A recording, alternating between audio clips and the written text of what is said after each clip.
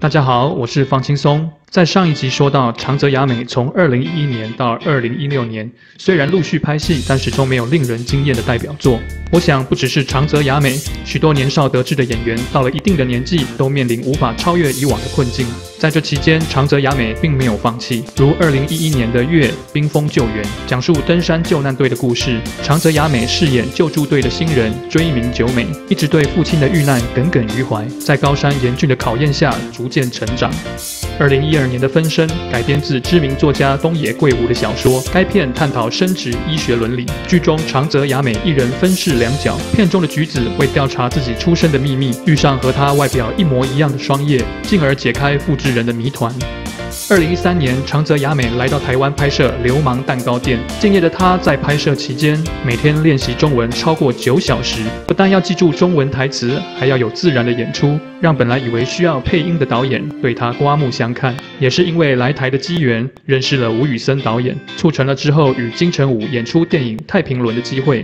二零一四年的《神去村》是我觉得在长泽雅美沉寂几年中的一道清流，在日本山林的美景中刻画出朴实的生活。长泽雅美全片以素颜演出，骑着重型机车，率直的个性令人印象深刻。片中一幕，长泽雅美带着只穿丁字裤的染谷将太往山上冲，更将影片带入高潮。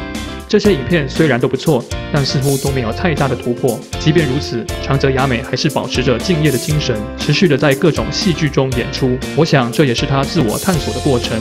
二零一七年，长泽雅美试着以音乐剧寻找突破口，在小酒馆中担任女主角。在这部日版百老汇改编剧中，长泽雅美不仅一改以往形象，走起了美式妩媚性感路线，并从一年前就开始苦练歌喉，为了给观众展现华丽的视听响宴，可以说是拼上了全人。在同年的电影《银魂》中，长泽雅美跌破众人眼镜，饰演时而温柔婉约、时而凶暴狂野的志村妙一角。此时，她心底狂放的灵魂似乎逐渐地打破了多年的禁锢。虽然已经不是当年甜美的邻家女孩，但在多年的淬炼后，长泽雅美成了货真价实、能够胜任各种角色的演技女王。无论是扮美、扮丑，或是疯癫，她都能驾驭自如。如2018年的日剧《信用诈欺师》中。长泽雅美所饰演的达子一角，充分展现她多变的演技，时而赌场女老板，时而空中小姐，时而考古狂热分子。虽然在片中不难看出岁月在她脸上留下了些许痕迹，但她精湛的演技让戏剧更富有张力，让你的眼睛不只是注意她的外表，更是将观众带入戏剧的本身，并融入其中。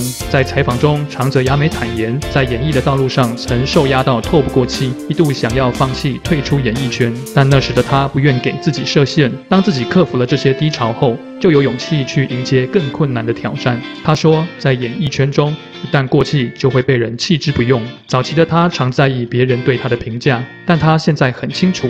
人生最终是属于自己的，别人可以放弃你，但你绝不可以放弃自己。放弃自我的人是最愚昧的。现在的我只想拿出更好的作品，只要有这个信念在，我就觉得自己能走下去。人生道路漫长，或许这世界没有所谓绝对的成功，但却有绝对的努力。一件事情无论成功与否，只要你付出全力，就一定会有收获。我想能为你人生打上分数的，就只有你自己了，因为你知道你曾经努力过。曾经奋斗过，也许别人看到的只是结果，但只有你自己知道那些经过的痕迹。希望我们都和长泽雅美一样，克服人生各种困难，找到自我的信念，勇敢地走下去。我是放轻松，希望你喜欢我的影片，订阅我的频道。